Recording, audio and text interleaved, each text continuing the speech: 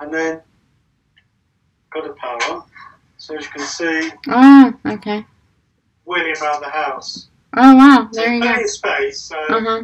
obviously, you know, if if you don't have trying to get through doors, if they're not the correct width, etc. Yeah. And then if you just turn it towards. Well, in fact, I can take it with me. I know. So I'm going now into the kitchen. Okay. And then if I just turn to the left, that's my wet room. Oh So you can see the floor Okay. like that. wow. And the Mhm. floor slopes, the water doesn't slope Okay. through the house. So you see I've, I've got a loo with a raised toilet seat, Mhm. got a handrail, and then there's um, you know, like a stall there, Mhm. and there's my shower. So basically, I can transfer my wheelchair onto the shower, Okay. etc. And then in the kitchen, all this really was developed yourself. So there's enough space, you see, to you know when I prepare food. Mhm. I've got a, a kettle that does one cup. Because Okay. again, you- you've got to think in a in a kitchen, there's hazards everywhere. Knives. If I dropped a knife on me, like I wouldn't feel it. Oh goodness. But, you know, it, it still cut me. That one cup. If you pick, um, your hands are weak. You pick up, um, you know, a kettle. Of course, it's boiling water. You put it on your legs. I'll be in Mm. big trouble. And an oven. I've got to very, very rarely use the oven because Mm. you've got to pull things out, and you're on a wheelchair.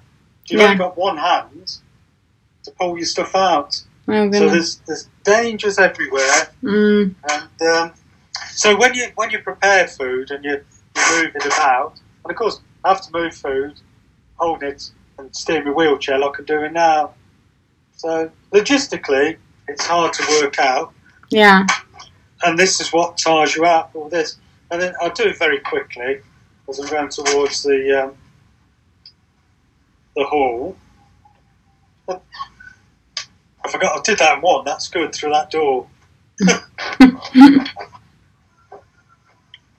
So then, as you can see, there's the old that I've got on my stair lift. Oh wow. So obviously, they, that should be there normally. Mm. But uh, to get that upstairs, you see, what I could do is send it up on the wheelchair. Mm. This is how I get shopping, um, me washing down. I can put it on the wheelchair, on the lift, you see, Oh, okay. carry stuff. So you think of everything, Wow. and then I'll just turn around quickly. I'll let that down because it'll be.